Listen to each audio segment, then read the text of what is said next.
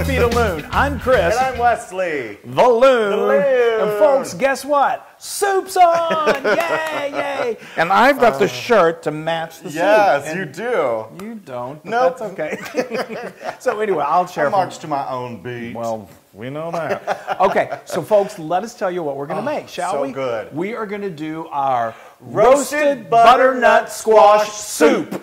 Soup. Soup. Soup's on. And folks, this is so good. This is amazing because Yes. this is one of the, I, I, this, I think this is one of our favorite soups. I love it. It's so delicious. so good. There's no cream involved. It's just, and what really I think makes this so deep in flavor is the fact that we're roasting yes. this. So what So we, no cream means that it's not as fattening as Well, a cream-based soup. It's yeah, it's it's, it's, it's uh, you know good for the when you're trying to lose a little weight, Yes, and it's just so heartwarming I and so it. delicious. And you so can eat buckets of it. yeah, Because I do. Uh, yeah. It's amazing. He, I've seen him actually have a bucket. Yes. So let me tell you how we did this. So what we've got is we've actually got two baking sheets here, and We've got um, dueling baking sheets. dueling baking sheets, and so we've got our butternut squash. So butternut squash, if you've ever peeled it and cut it and chopped it yourself, it's of the It's- vegetables, it's one of the little more Yeah, challenging ones. You work out. You it's a, You do, you know, 'cause you work up a sweat. Yes, You do. So fortunately, nowadays in most supermarkets, you can find them already peeled and already chopped, and, and that's what And we've got. here. fabulous, So yes. we need um, anywhere from three to four pounds. I think this of- is about three and a half. This is about three and a half. Yeah. I mean, you're, what you're going to do is you're going to fill two uh, baking sheets with this. Now, if you can't, if you, I mean, go ahead and just, you know, you need a big knife and sharp knife, and be careful when you're cutting it because it can, it can kind of, it's, it's a little stiff before it's cooked. Yeah. Um, so anyway, we've got about three. Uh, here we've got about three and a half pound high And a- flow and a 60-pound dog. A 60 pound dog that's walking through. And then we've got uh, we, two onions, one here and one here. That we it's just a rough chop. We cut it in half and then cut that like into thirds. So we've Yeah. got like about six, Six pieces, pieces of, of onion, and you peeled the skin off. Yep. And then what we did was we got some salt, and Mm-hmm. we liberally salted it, and we got some freshly ground pepper, sprinkled that Mm-hmm. on, and then got some olive oil, squirted that all over. I'd say that's about one to two tablespoons per baking sheet, probably a tablespoon per baking sheet, and then you just toss it up Yep. with your hands. Because And you know um, what we're going to do with it? We're going to roast it because it's roasted. roasted butternut squash soup. What a great idea. so we've got our oven piping hot at 425 425 degrees Fahrenheit, Mhm. and we're going to stick this in, and it's going. Um, the smell is ridiculous, um, and it's going to go for 40 minutes. Somewhere along the way, you may want to look. These they'll start to char a little bit, which is what you want. You know, you can uh, take your uh, wooden spoon and stir it around a little bit, around halfway. Do you have to? I would recommend. Oh, okay. Because you don't want it to burn too much on the bottom. You know, then you've got burnt as Yes. opposed to like just nicely Right. roasted. Got so, it. So we're going to roast these and then we're going to come back and we're going to We're build gonna the rest of the soup. That's right. yeah.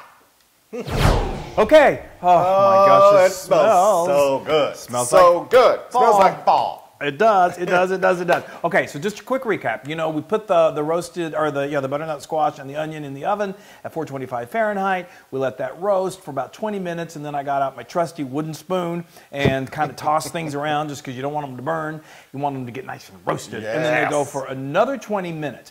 Okay, then I took them out, and then what I did is I got a nice large skillet over here, and before I added the uh, squash and the onion to that, what I did was I got a couple tablespoons of extra virgin olive oil and I heated that up over medium heat and then I added a tablespoon of ginger root that was minced.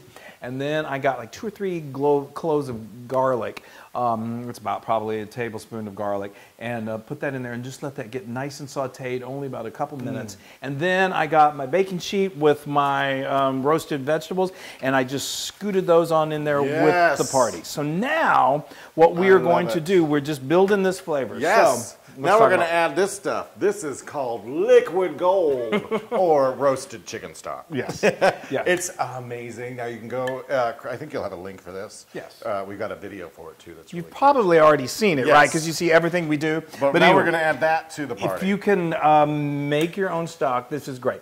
Um, if not, you can get It's good store bought. But they really it it talks about oomps up the flavor. oomps it up. So again, this is four cups of uh, chicken stock. Now, Now, if people wanted to use vegetable stock, could absolutely. it be? Could this actually be a vegan, uh, a vegan recipe from Kris and Wesley? Every time I say something, if you do this, that it's vegan, then I get yelled at for like, you can't be no, vegan. stop it. Well, it's very important though. It's very people believe in you know, that's their that's their way of life. Yeah, no. I agree. And I agree. wanna when it- with that. Well, right. So don't take my word for it. I can tell you that right now that this is definitely, if you use vegetable stock, is vegetarian. There's Um, no dairy. There's there's no meat.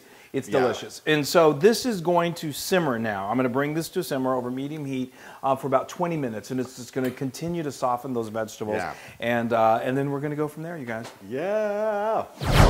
Okay, All folks. right. So I am so excited. We are so close to roasted Yes. roasted butternut squash soup. Yes. So uh, we let it simmer for, like we said, like 20 minutes. Just stir it every you know couple minutes with um, a wooden spoon, and then now you can do this. You need to puree it. So you can either do that in a nice blender that we've got here, filled to the brim, Filled to the which is okay. Just we'll show you. You know, careful with that. Yes, I will with the power tool.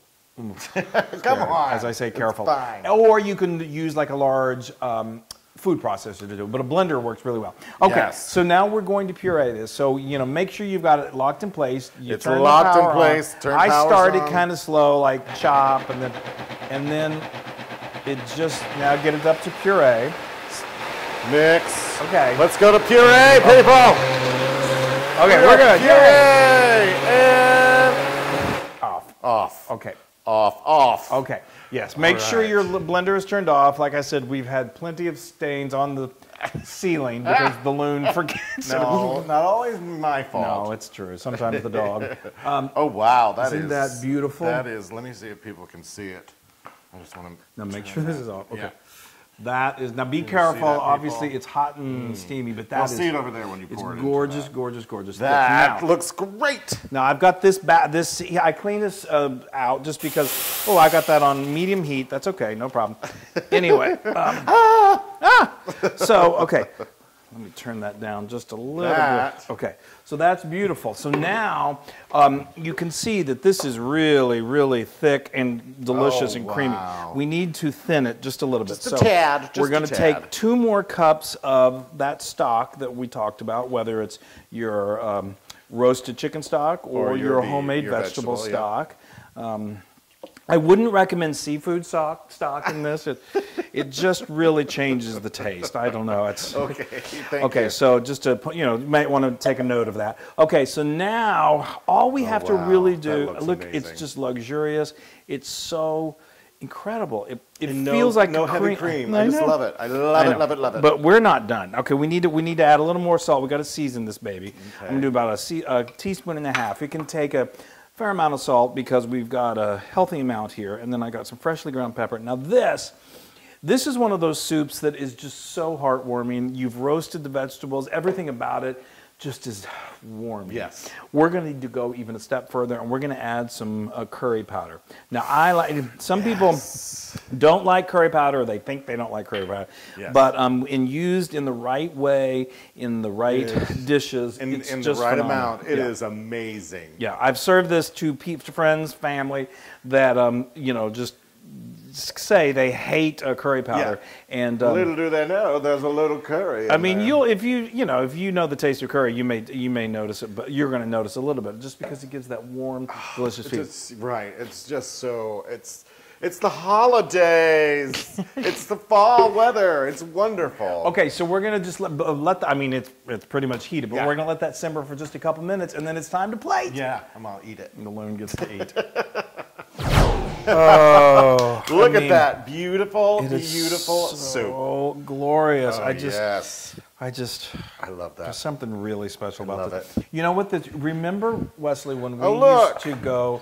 There was a restaurant when we lived in the West Village of New York City back in the Yes, late 80s into the 90s, yes. and there was a small It was little called the Potbelly Stove the Cafe. Potbelly Stove Cafe, and I think it was our. We were the new, first to, time. new to New York, and our culinary extra. You know, we were getting more adventurous, Yes. adventurous, but learn. You know, and this cafe made this incredible cream of uh, butternut squash, and it's one of those Not cream of influence. butter, it was uh, just not cream, right? butternut Buttermilk squash squash, soup. soup. and it was one of those experiences that was. Just, it would be snowing outside. We would order this. in the West Village in New York City. We had no money, and we were just could not be happier. and this would be served us, and we would just spend the whole day basically there. yeah, I know, I, I know. Oh Lord! All right, so now the piece de resistance are these amazing homemade croutons. We like to throw them on top, And what, Kris? What? I, well, I, I didn't know what you were going to say. So you can make homemade croutons so easily. I've got a link in the blog post. There's, it's super easy. It's another one of those things like I can make croutons. You can, and it, it's just. I mean, if you're going to make a soup like this, Yes, folks, make some croutons. definitely make. Look at how croutons. cute that is. That's beautiful. actually, and I just, I just love these so much. All right, come on. Mm, mm, mm, All right, I'm going to eat. All right, That's I'm gonna eat after I have my little crouton. Yes, yes. yes. You cheated. Look at the- that. That is glorious. Yeah, and you want to have a big bowl of those croutons on the Oh, table. Look at how silky. Oh. I know. I know. This is this is like about the best, right? It's amazing. Yeah. It's amazing. I am in the village at the Pop Belly Stove Cafe, and I'm 30 pounds lighter. Well, this is going to help. This is amazing. This is uh, figure friendly and it's mm. so rich and flavor. This is mm. also, you know, and that touch of curry is perfect. It's perfect. It's it just Perfect. adds to the warmth. This is really a mm. wonderful uh, pre-Thanksgiving uh, meal soup to serve. Oh, I mean, perfect. Yeah, I mean, talk about appetizer, setting the yep. stage for a perfect meal. Oh, you guys. Oh, mm, Is it everything you've ever believed it should be and more? Um, This is actually a million percent Loon approved. Yay! no, it's that good, folks. It's amazing. Here, Kris, take Thank that you. on over there. Okay, thanks. It's so it's so heartwarming, and I'm telling you, that little hint of curry just makes it even feel a lot more homier. it's so deli- It's so Oh, much homier. and the homier, homier. it's so good. that is really good. And I just, I, I still can't believe that there's no heavy cream in this. it's just so good. it's the roasting that, that brings mm-hmm. out that just that flavor. totally, totally, Yeah, yeah. totally. And the homemade chicken stock helps too. But you can believe me, you're still going to get superior, superior Oh. taste with just regular old stock. Wow. Now you can get this recipe and many more soup recipes on howtofeedaloon.com. And if you guys want to come over and share us, Come eat this, on. and make it, and we'll come to you. Oh, please make this soup. And on your way, you know, get out your phone and, and share and like and tell everyone about how to feed a loon and um, how much you love it and how much we love you. And and, and try these croutons too, because they're amazing. I mm. know mm. we need to get a group on for croutons. Bye, everybody. hey, everybody. Hey, now if you like what you saw, make sure you subscribe to our YouTube channel. That's right. And to get more amazing recipes like Yeah. this, just click right here. Click, subscribe, Do click, it all. subscribe. Just click and subscribe.